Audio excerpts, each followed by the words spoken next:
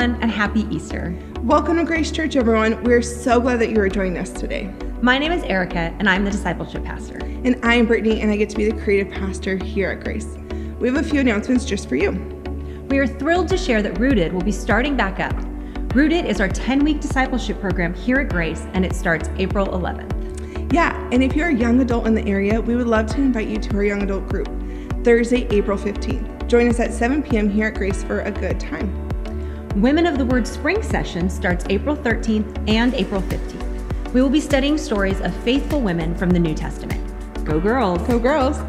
And Generation Grace is going strong every Wednesday at 7 p.m. G2 is our youth ministry here at Grace. All middle school and high school students are invited to join us every week. We love our youth. Yes, we do. Looking to pay off debt, save, or invest in the future? Then Financial Peace is for you. It is launching April 20th right here at Grace. Amazing. Hey parents, save the date for VBS June 28th through July 2nd. And save the date for Wild West Family Camp July 23rd through the 25th. Next week, we are starting a new sermon series studying the book of First John. You are invited to join us and learn with us. We can't wait. Church, let's pray before we worship. God, we just thank you so much for today. Lord, we thank you for what you did by sending your son down to die for us.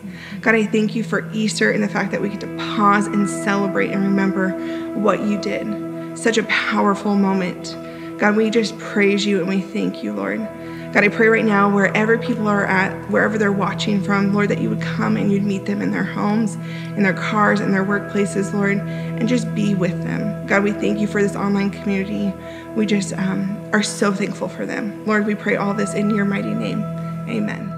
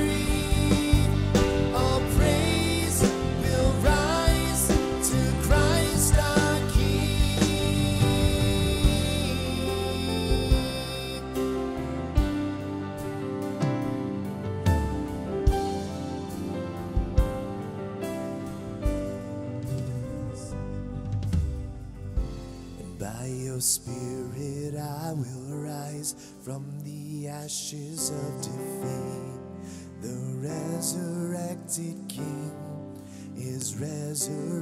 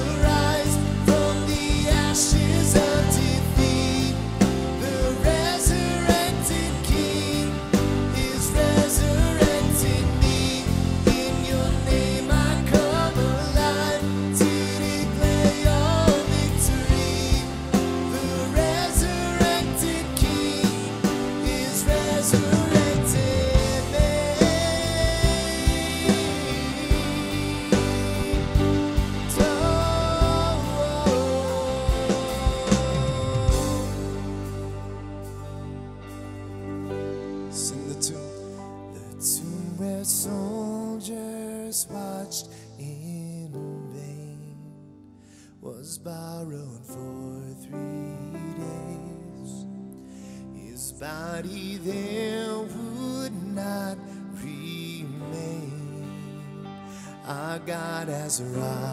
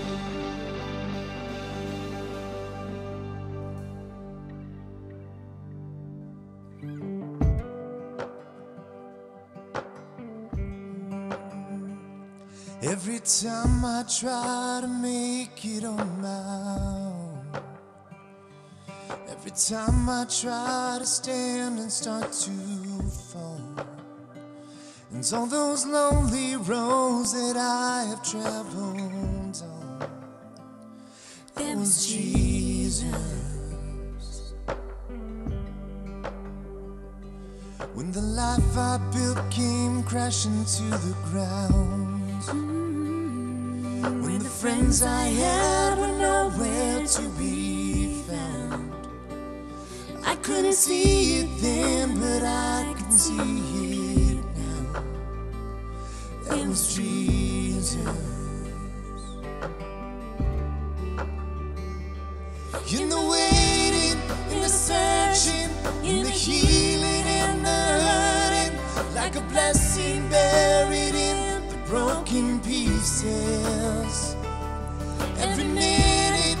every moment, where I've been and where I'm going, even when I didn't know it or couldn't see it, there was Jesus.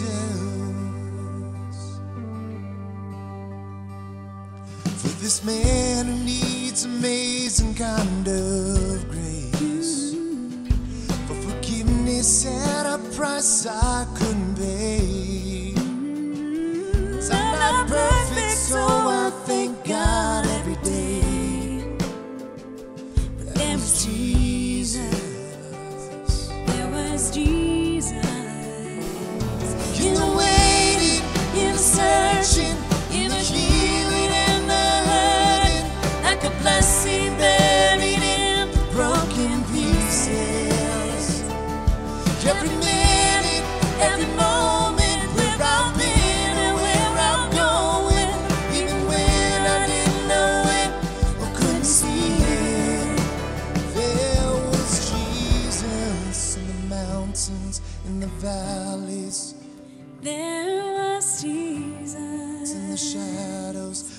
of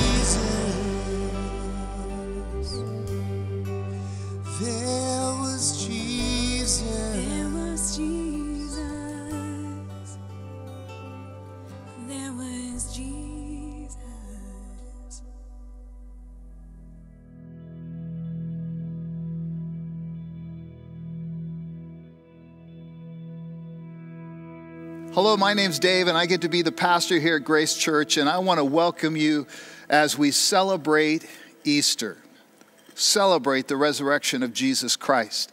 And I especially want to welcome those online. And if you happen to be online at the 9:30 or 11 o'clock service, make sure you take advantage of the online hosts that are there ready to serve you. And and again, no matter where you're at, and join us. I am just so thankful that we can celebrate this amazing event called the resurrection. Uh, it is the most important thing, I think, in the history of the world. It, it, is, it is the one thing that all of us face. All of us face an enemy called death. And Jesus Christ conquered that enemy, and we get to celebrate. Uh, the resurrection truly is the center of our faith. Uh, Christianity is not based on just good teaching or being good or anything like that. It is based on the event called the resurrection. And it is worthy to celebrate. It is worthy to sing songs. It is worthy to rejoice because he is risen. And we can rejoice in our Savior and our Lord. It, is because Jesus conquered death, because he rose from the grave, that, that we listen to his teachings. Is because he conquered death, that we listen and want to be people who follow him, follow the one who loved us first, who came to us, and that we receive Him as Lord and God. Again, all of our faith comes back to the resurrection. Now, now there, I know there's skeptics. Really, th- people think, oh, could it be really true that Jesus rose from the grave? In fact, uh, I, I think that everybody who's a follower of Jesus at some time or another was skeptical of it. And so, if you're skeptical of the resurrection, you're perfectly qualified to be a follower of Jesus, and I'm glad that you you're tuning in. And and I want to give you some reasons why it's reasonable to believe in the resurrection. And the first reason that it's reasonable to believe in the resurrection is actually the story itself. You see, the Easter story goes like this that there were some women who went to the grave early in the morning and discovered that the tomb was empty and Jesus was not there. They actually witnessed the resurrected Jesus, and it was women who first carried the good news that Jesus is alive. Now, if this story was a story that had been made up, with the idea that people wanted to fool people, that they wanted to tell a lie that people would believe, they would not tell this story because in that culture at that time, the testimony of women was not uh, credible. It was not viewed as credible. In fact, the testimony of women wasn't even uh, uh, uh something that they could, you could submit in a court of law. So if you were making up a story that you were in hopes that people were to, were, were to believe, you would make up the story eh, that would say that men were the ones who discovered the empty grave. And, and, the only reasonable explanation that we have the story the way it is written is this that's the way it happened. There were women who went to the tomb and saw that it was empty. Later, men saw that it was empty, but first, it was women who carried the good news that Jesus was alive. It's the story itself that causes us to recognize the fact that, that it is a believable story. And then there's the little brother James. Now, now think about it for just a little, little bit. See, Jesus had some younger siblings, one of which was James. And, and uh, think with me what it would have been like to be the younger brother of Jesus, growing up in the same household. I, I wonder how many times he was told, James, why can't you be more like your brother Jesus? I mean, think about it. And we, we follow James in the story of the Gospels, and, and during that time when Jesus was doing his public ministry, when he was teaching and even doing the miraculous, James didn't believe. He, he, was, he was not a follower of Jesus. And in fact, uh, the scripture tells us that at one time he actually even questioned whether or not he was sane. I mean, he was questioning his sanity. And, and, and when we step back and think about it, what would it take for you to believe that your brother was the sinless Son of God? Well, for James, it took the resurrection because it was only after the resurrection that James recognized Jesus for who he said he was. In fact, uh, the story goes that Jesus actually made sure that he had uh, connected with James after his resurrection. And, James became a fully devoted follower of Jesus after the resurrection. And to me, again, is one of those credible, reasonable reasons why we can believe the resurrection. Now, I could go on and on, but the reality is this the bottom line is this people who witnessed the resurrection of Jesus were willing to die because of what they said they saw. They saw the resurrected Jesus. Now, the only uh, reasonable explanation for their willingness to die was because they actually saw Jesus alive, and death was not anything that they feared any longer. You know, it's one thing to tell a lie, it's a whole nother thing to be willing to die for a lie. And they were willing to die because, because death was no longer something they feared. Now, the early followers of Jesus were, were not part of some religious elite.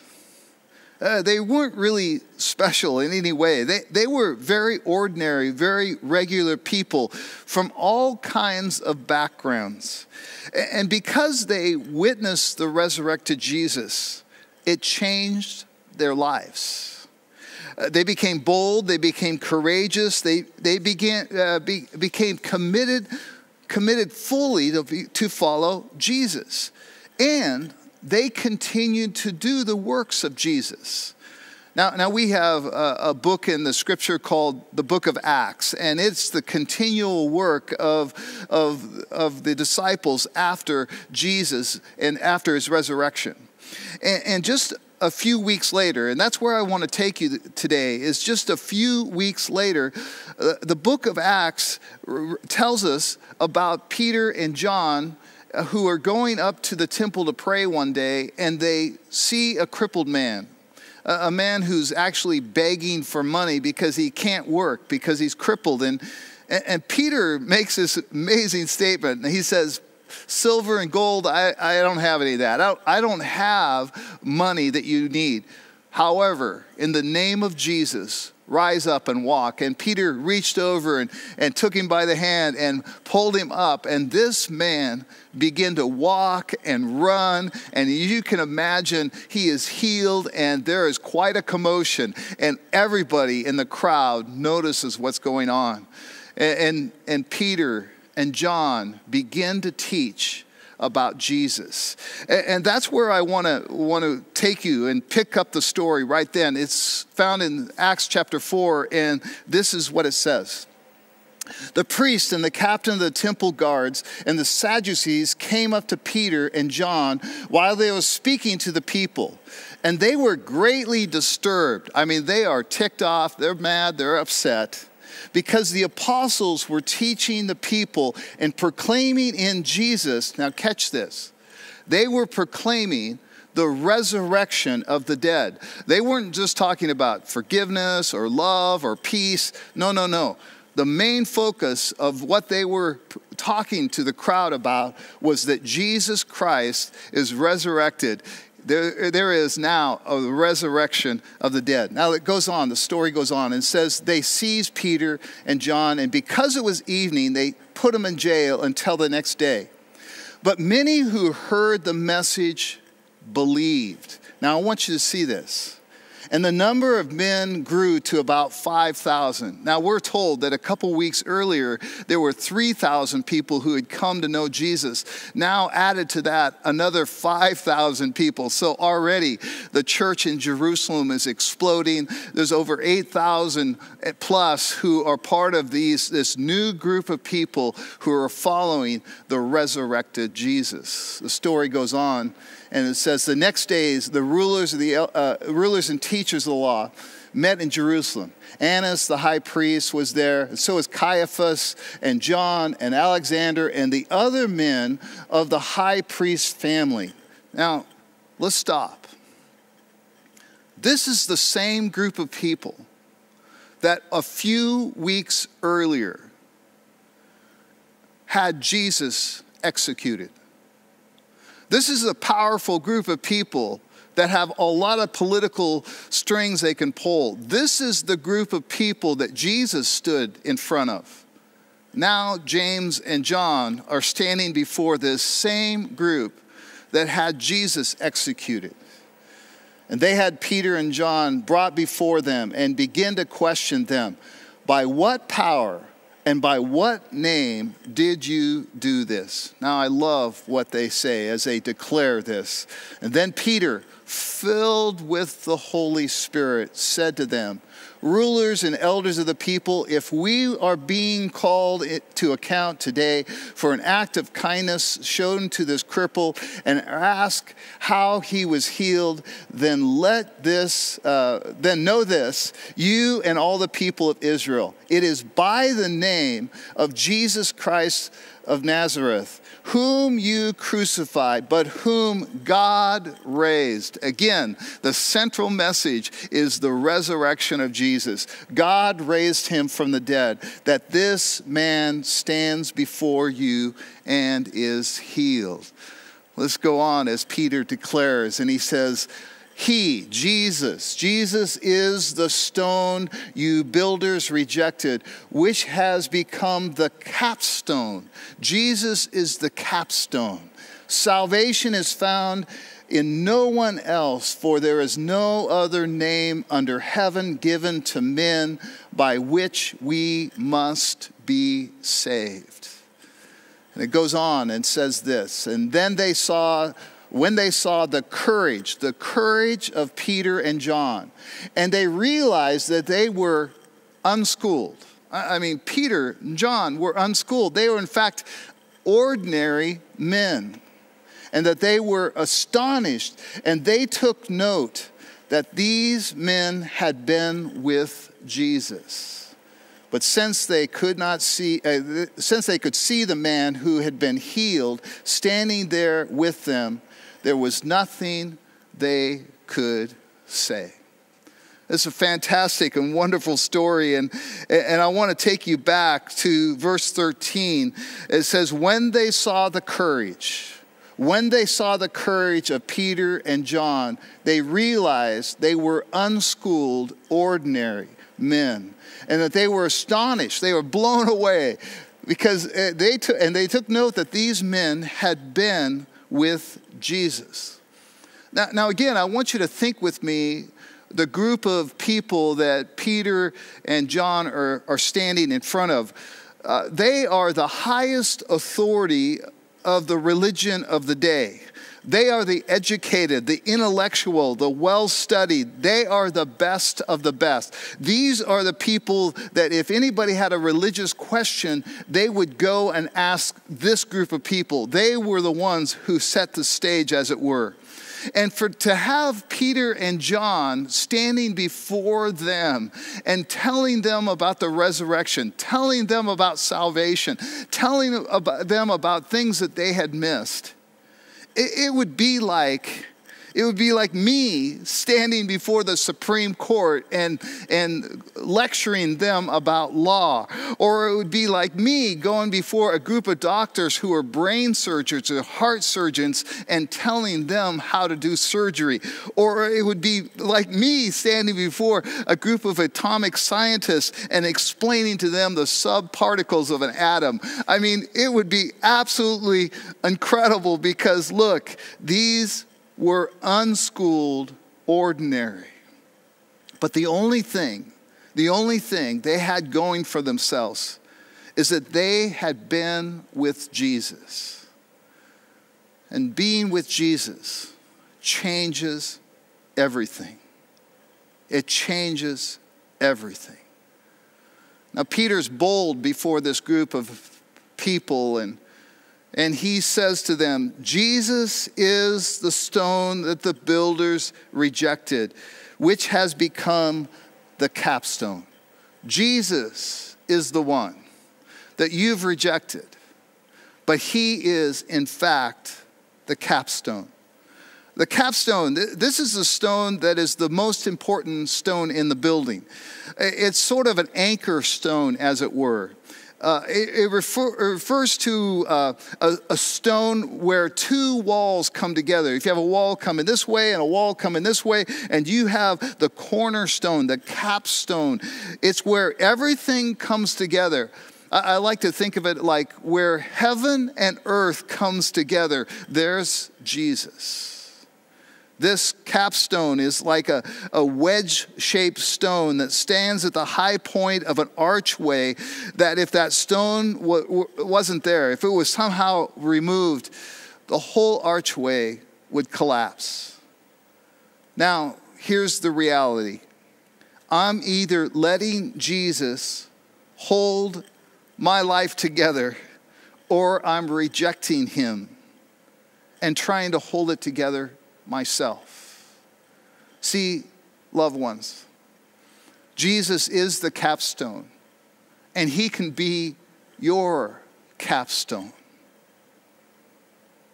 They declare this amazing truth that salvation is found in no one else, for there is no other name in heaven given to men by which we must be saved. There's a lot of people and a lot of things that offer salvation. Only Jesus can give salvation. Only Jesus can give salvation. Salvation is this idea of deliverance. It's a freedom, a freedom from my sin, from my past, from my fears. And only coming to Jesus can give me salvation. Uh, Jesus did what I could never do on my own. The, the way uh, the way he, he gave his life, he gave his life for my sins so that I can receive forgiveness and I can receive a, relationship with God and I can know Him as Father and I can actually have God. God, as the Holy Spirit, is very present in me and He can be present in your life. Salvation is available to me and it's available to you because of what Jesus Christ has done. I'm not a follower of Jesus. I'm not a Christian because I live in America or because my mother was a Christian or that I even go to church. Going to church doesn't make you a Christian any more than uh, swimming in the ocean makes you a fish. I mean, it's just what makes you a follower of Jesus is that you are putting your faith, your trust in what Jesus Christ has done.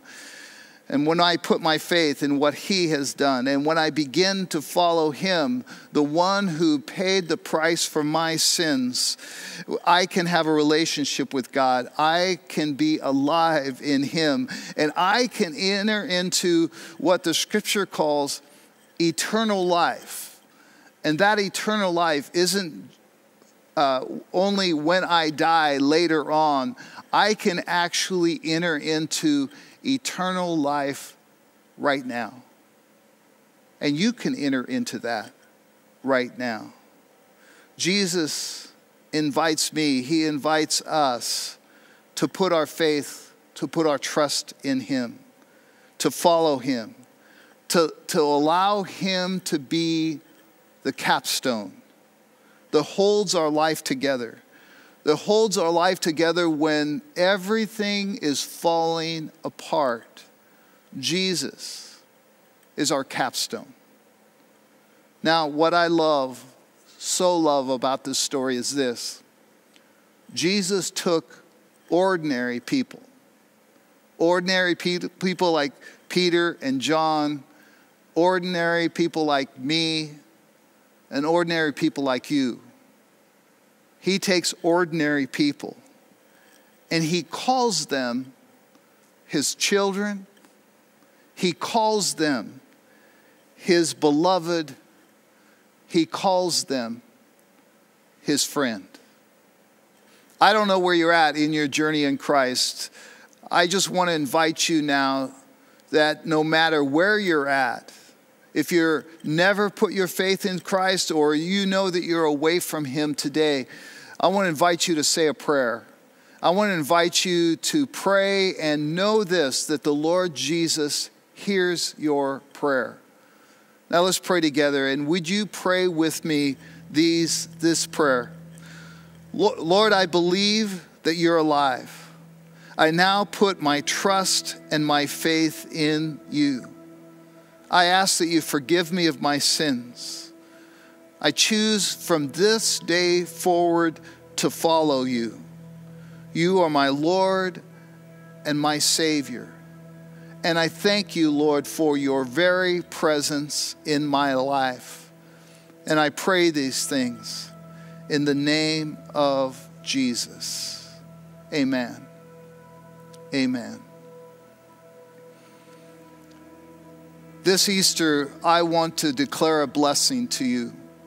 The Lord bless you. The Lord, He will keep you, for His face shines upon you.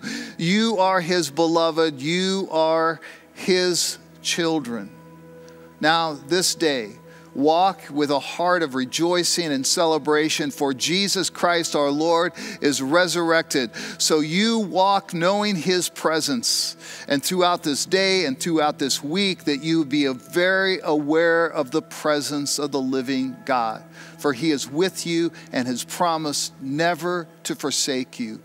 Be his child this day, this week, in the mighty name of Jesus. Amen.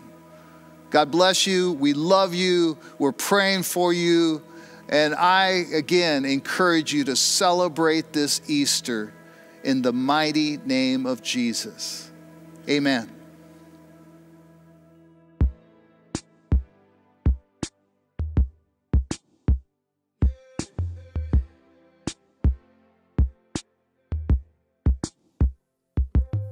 Sometimes on this journey, I get lost in my mistakes. What looks to me like weakness is a canvas for your strength. My story isn't over, my story's just begun. And failure won't define me, cause that's what my father does. Yeah, failure won't define me, cause that's what my father does. Burdens down here in the Father's house. Check your shame at the door, cause it ain't welcome anymore. You're in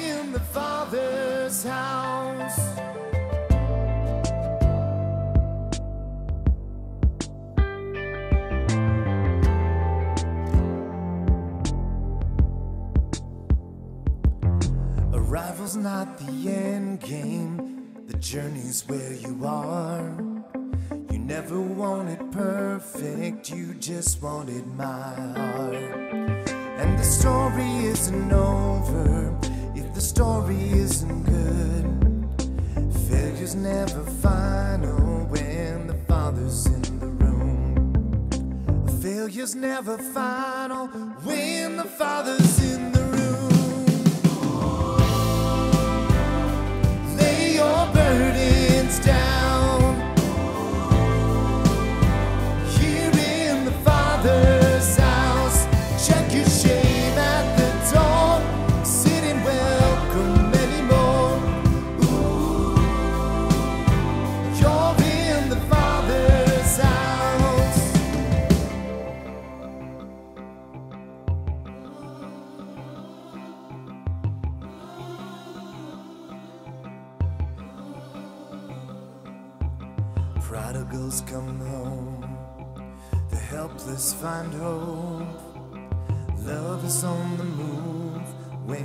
Father's in the room.